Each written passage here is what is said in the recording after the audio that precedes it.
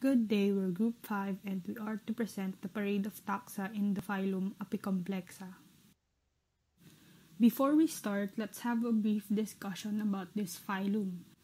It is a known monophyletic group of parasitic species which is comprised of about 6,000 animal parasites. As a defining characteristic, it has its cortical alveoli, which is a vessel-like structure under the plasma membrane. Let's start the parade of taxa with the genus Adelina. This species is known as a parasite of centipedes and its oocysts are egg-shaped and the number of sporoblasts varies depending on the size of the oocyst. Next one is Aggregata garnhami from the genus Aggregata. Their oocysts are mainly oval uh, sometimes spherical, with multiple sporocysts uh, inside each oocyst. It is a common parasite of the common octopus and has two host life cycle. The next one is Ancora sagittata. Ancora sagittata is a unicellular and is observed to have two lateral projection which gives it the appearance of an anchor. It has an elongated body that is narrowed towards the posterior end. The next species is Anthemosoma garnhami. This species is known as an erythrocytic murine parasite and is only known to occur in two locations, Ethiopia and Namibia, and it undergoes different blood stages. The next species is Apicystis bombi. Apicystis bombi is a known parasite of bumblebees in the genus Bombus. Its host becomes infected when an oocyst is ingested by the bumblebee and it eventually develops into a sporozoite in the intestine. The next species is Aranciocystis muscarensis. This species is known as a pathogen of Anisoplia segetum. And its infections are chronic and is mainly located in the hindgut. Its oocysts are lemon-shaped, which transforms into a spherical micronuclear schistons. The next species is Ascogregarina taiwanensis. Ascogregarina taiwanensis specifically infects the Asian tiger mosquito. Its occurrence is temperature dependent, with the infection rate higher in the summers compared to other seasons. The next species is Toxoplasma deseri. Toxoplasma deseri is a known avian blood parasite. It develops sexually in the blood and intestinal cells which eventually forms oocysts that are passed unsporulated in the feces. It will sporulate on the ground to infect new hosts. The next species is Babesia canis from the genus Babesia.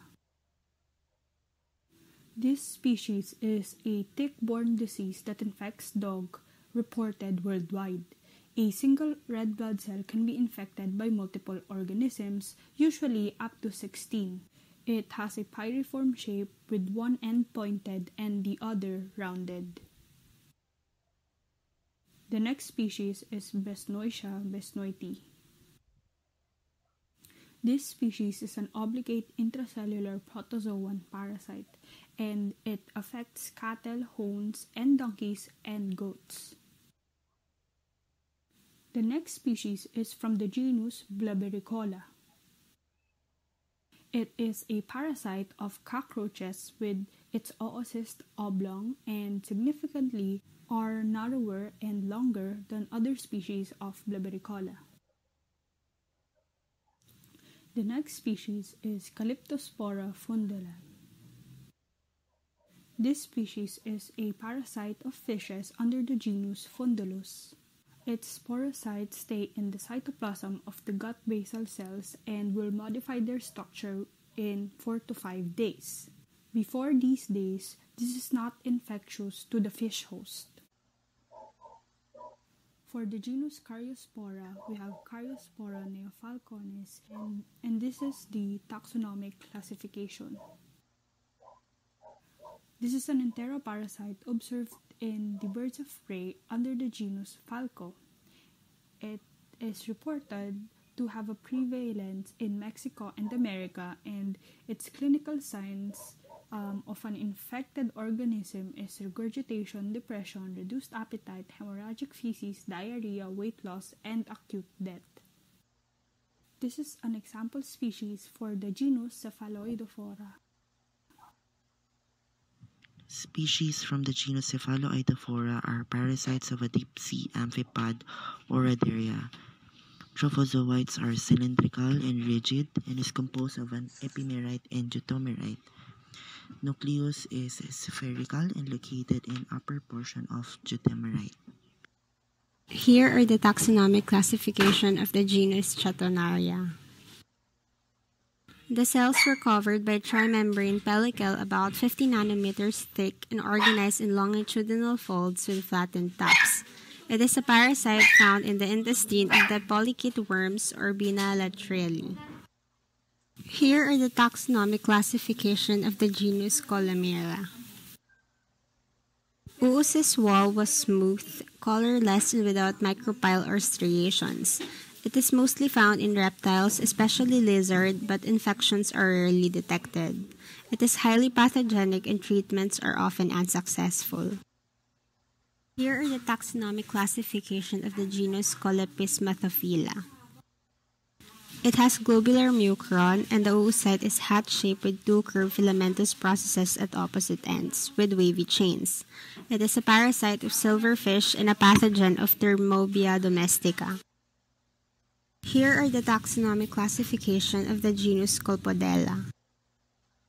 They are small flagellated protists with motile stage consists of a pair of anterior orthogonal flagellum, vesicular mitochondrial cristae, inner alveolar membranes, and microspores. They are free-living and voracious predators of free-living protists. Here are the taxonomic classification of the genus Cryptosporidium. They are microscopic parasite that has an outer shell that provide protection and allow it to survive outside the host for long periods of time. It causes cryptosporidiosis, a diarrheal disease in humans and animals. Water is the most common way to spread the parasite. Here are the taxonomic classification of the genus Cuspisella. The attachment apparatus had rows of uniform superficial spikes that point posteriorly between the longitudinal rows of epicytic folds. They are found in the intestine of the polynoid host Lepidonotus helotypus. It has set of unusual morphological traits like the spike attachment apparatus. Here are the taxonomic classification of the genus Cyclospora. Large coccidian at about 9 micrometers in diameter. It causes the diarrheal disease, cyclosporiasis, and infects human hosts by consuming food or water contaminated with the parasite. It is common in tropical and subtropical areas. Here are the taxonomic classification of the genus Cystoisospora. Species have oocytes with two sporocysts with four sporozoites, each having no stieda bodies. It infects the enterocytes of the small intestines of mammals via e fecal oral route and causes cystoisosporiasis. Here are the taxonomic classification of the genus Cytauxzoon. The intraerythrocytic forms range between 0.8 and 2.3 micrometers in size within a mean of 1.64 micrometers. It has a tissue phase and an erythrocyte phase. It causes cytauxzoonosis, an acute hemolytic disorder, in domestic cats and often fatal. It is transmitted through the bite of Dermacentor variabilis. Here are the taxonomic classification of the genus Dactylosoma.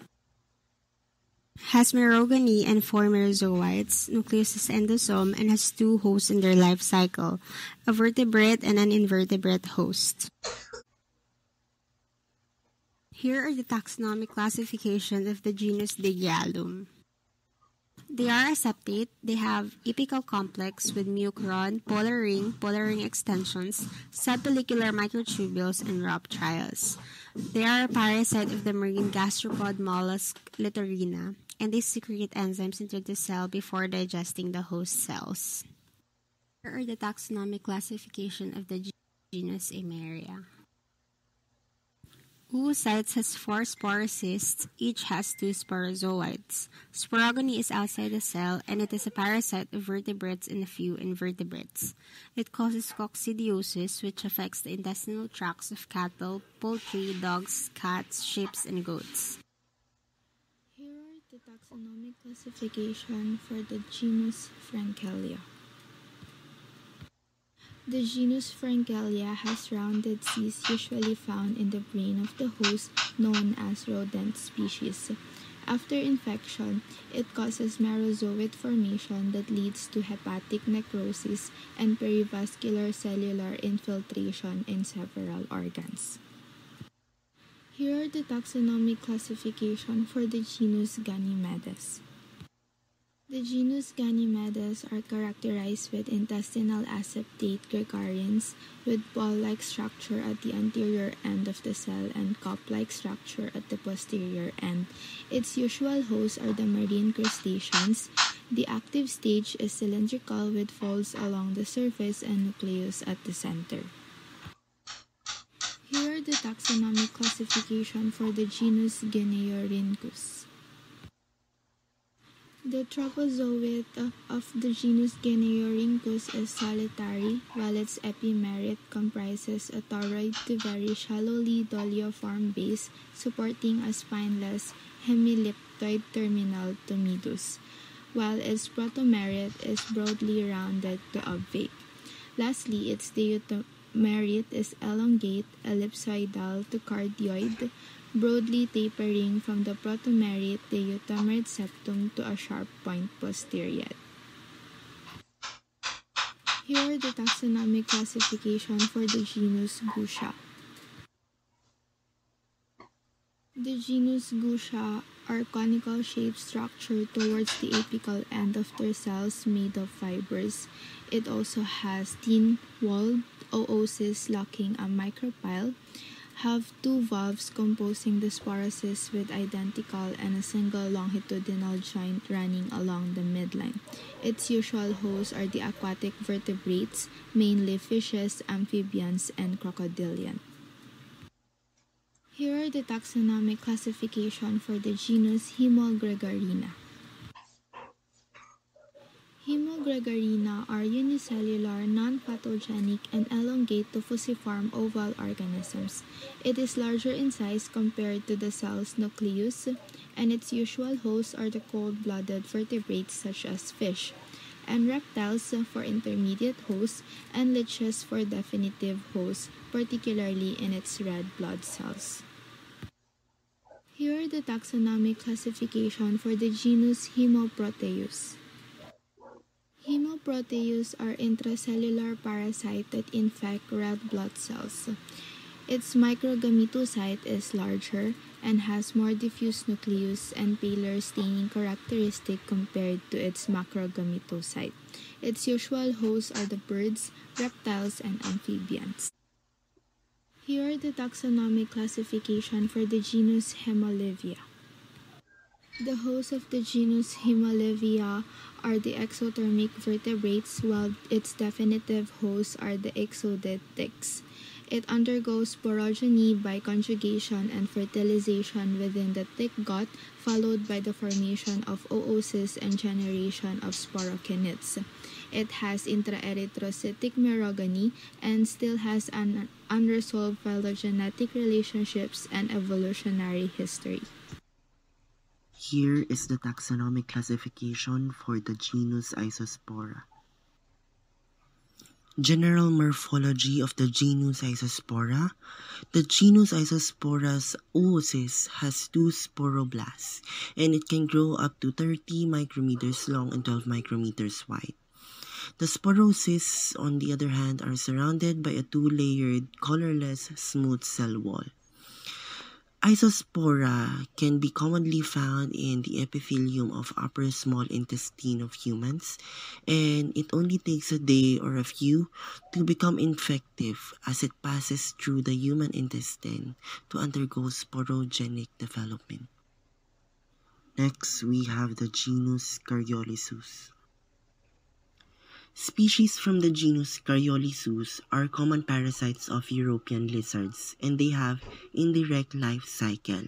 It is merogamy takes place in an intermediate vertebrate host, more common in reptiles, while gamogony and sporogony happens in the gut of an invertebrate final host. As for their morphology, they are unicellular blood parasites and they have highly refractive cytoplasm. As gammons, they are oval with rounded ends and non-vacuolated cytoplasm. However, as trophozoites, they have vacuolated cytoplasm. Taxonomic classification for the genus Klossia Species from the genus Klossia are mostly reported as parasites of invertebrates, more particularly of land snails, and they develop in the kidney epithelium of these snails. As for the general morphology of the genus Klossia, they have spherical oocysts containing numerous sporocysts, as you can observe on the picture on your left. However, some species manifest an ellipsoidal oocysts. Their oocysts are usually bilaminar, but for the species Klossia pachyleperon, they have trilaminar oocyst walls. Their outer layer being rough and dark brown. They, they have yellowish middle layer and their inner layer being colorless. They also have sporocysts containing up to four sausage-shaped and curved sporozoites. Moving on, we have the genus Klossiella. The life cycle of the genus Klossiella has not yet been clearly defined, but scientists have found that they are monoxenous, meaning to say that these parasites are host specific and that they spend their entire lifetime in that specific host. Say, for example, Klossiella equi are known to be parasites of equines or horses and Klossiella hydromeus known to be parasites of water rat, and Klossiella cobaye as parasites of guinea pigs. Also, they are renal parasite, which means that they reside at the kidney of their host. As for the morphology of the genus Klossiella, their morphology are very much dependent on the current developmental stage, namely the uninuclear form, the multinuclear form, the budding form, the development stage of sporosis, and the development stage of sporozoites. Their schizones are 35 micrometers in diameter and have basophilic nuclei. For the genus Lankesteria, here is the taxonomic classification. Lankesteria is a genus of unicellular parasites of marine invertebrates and they reside in a variety of body organs of their host. As for its general morphology, trophozoites can reach the length of 130 micrometers to 160 micrometers. They are crescent shaped and wrinkled and they also have concave margin. The anterior portion contains the nucleus and this portion is usually marked by the swollen head-like region of the cell. Uh, meanwhile, the cell surface is characterized by the longitudinal folds of the membrane. Next, we have the genus Lecudina. Species from the genus Lecudina are intestinal parasites of marine invertebrates, particularly of polychaetes, and generally they are host-specific. The general morphology of Lecudina. They are slightly arched in the longitudinal axis. Trophozoites can reach a length of 475 micrometers to 575 micrometers and 35 micrometers to 50 micrometers in width. The surface has longitudinal folds that terminates before reaching the anterior and posterior ends. Taxonomic classification for the genus Leucocytozoon. Species of the genus Leucocytozoon are avian blood parasites and they are recorded in numerous birds across the continent except in Antarctica. They can be non-pathogenic in naturally adapted hosts but lethal when switching to a different host. They have large gametocytes, characterized by a lack of pigment ranging up to a maximum of 700 micrometers in diameter. As you can observe in the picture on your right, the host cell nuclei are pushed towards the most lateral region and becomes ultimately deformed. The cytoplasmic process is narrow with short tail, and their microgametocytes are larger than macrogametocytes. On this slide, we will see the taxonomic classification for Nephromyces. Nephromyces cells are highly variable in morphology and most of which can be described as filamentous in nature, and different cell types would be seen in its different life stages. For the general description, it is a mutualistic marine endosymbiont of sea grapes, which are marine tunicates, and Nephromyces can be found in the renal sac lumen. It was first described as a parasite, but its ubiquity or high cell density in mulgulates could mean that Nephromyces infection can actually have a net benefit to its hosts. So, there is a mutually exclusive association between these two species which may have been due to its long evolutionary history. On this slide, we will find the taxonomic classification for Nycteria. For the morphology, the gametocytes can be seen in the image where it is found in the blood of its hosts.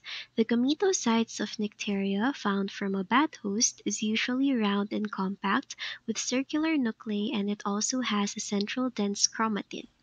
For the description, Nycteria is a parasite that can infect mammals and other vertebrates, but it is most prevalent among African insectivorous bats where they feed on its blood. Actually, the name came from the first reported bat host genus, which is Nycteris. On this slide, we will find the taxonomic classification for Ophryocystis. Ophryocystis spores are elliptical or lemon-shaped, and they are usually found on butterfly scales as seen in the image. For the description, it is a protozoan parasite to the monarch butterfly, and it has two main life stages. First, we have the reproductive stage and the dormant stage. Infected butterflies exhibit decrease in lifespan, mating success, body mass, and flight ability. Here we will find the taxonomic classification for Plasmodium. Plasmodium has ring-formed trophocytes that are thin and may possess one to two chromatin dots as seen in the image. They are usually found on the red blood cell periphery and the gametocytes are crescent-shaped. For female macrogametocytes, they have darker stains than that of male microgametocytes. Plasmodium falciparum is a predominant blood parasite in humans that is known to cause malaria. Gametocytes are carried by an Anopheles mosquito during blood meal or sporogonic cycle. Here we will see the taxonomic classification for Polychromophilus. Polychromophilus oocytes are found on the midgut. Mature and immature oocytes look similar with other malarian parasites such as Plasmodium as previously discussed, and the size usually ranges from 52 to 71 micron.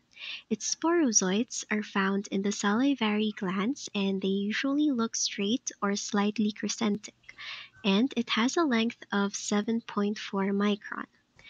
Polychromophilus are actually malarial parasites of Vespertilio murinus, which is a specific species of bats. Here we will find the taxonomic classification for Pseudoklossia. The image shows the different endogenous stages of Pseudoklossia semiluna, where the first image is the crescent-shaped macrogametocyte, and images 2 to 6 will show the various developmental stages that it will undergo alongside the microgametocytes. And lastly, for the seventh image, we will find a sporulated oocyte.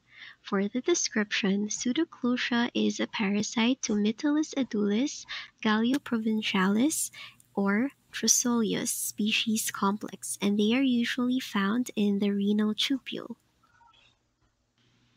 The slide shows us the taxonomic classification for Psychodiella. Psychodiella oocysts are found on the chorion of sandflies, while sporozoites are located in the ectoperitrophic space of the intestine of the larvae as seen on the image. For the description, Psychodiella are actually parasites of Phlebotomus sergenti, which is a vector of Leishmania tropica, a causative agent of human cutaneous leishmaniasis, and they are only found among female sandflies. Quadruspinospora is classified under the class Sporozea. This genus is known to be thick-walled, have solitary gamonts, orbicular gametocysts, and elliptoid oocysts provided with four long spines, two at each pole. Some species of Quadruspinospora are known to infect the midguts of some grasshoppers. Rhytidocystis is the only genus within the monotypic family Rhytidocystidae. The shape of their trophocytes varies from oblong to flat oval cells. The cytoplasm is filled with granules of carbohydrate storage. The smaller cells are more transparent than larger ones, and the parasites were observed to have a spherical nucleus located centrally. These parasites are mostly found in the midgut epithelium of their hosts, such as the polychaetes. Sarcocystis are found under the family Sarcocystidae. Sarcocystis are generally thick-walled and striated with numerous velar protrusions. The cysts were septate and their interior compartments were filled with cystocytes. With 196 species currently, these parasites are known to infect mammals and some reptiles and birds. Selenidium are classified under the family Lysodinidae. Generally, this genus is known to have vermiform trophocytes with apical complexes and few epicytic folds.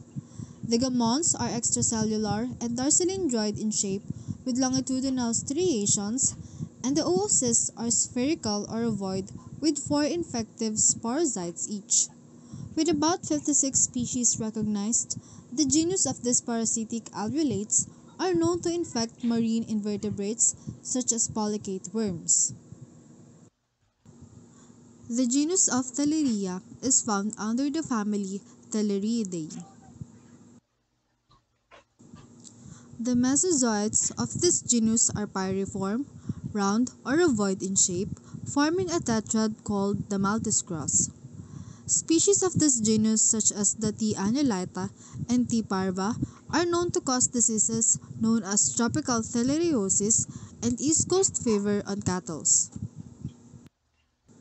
And last but not the least, the genus of Toxoplasma is classified under the family Sarcocystidae. Trophocytes under this genus are crescent-shaped with one end pointed and the other end rounded. The tissue cyst is round or oval, while the oocyst is oval in shape. Toxoplasma is first described in a small rodent called Gondii, and these intracellular parasites are known to cause toxoplasmosis in many warm-blooded animals including humans.